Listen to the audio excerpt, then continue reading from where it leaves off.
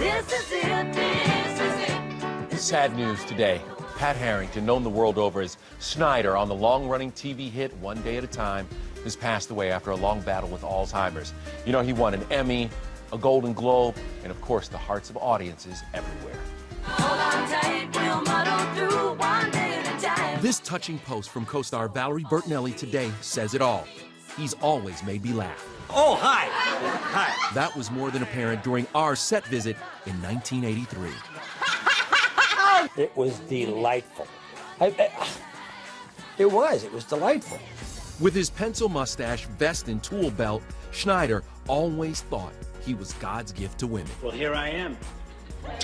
Use me.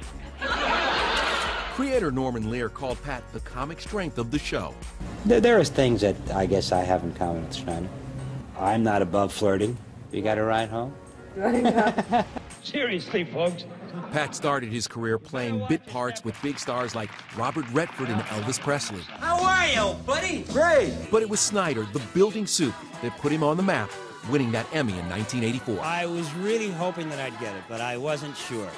As for the tool belt, Pat told us it's in the Smithsonian. I sold it to the Smithsonian, one tool at a time.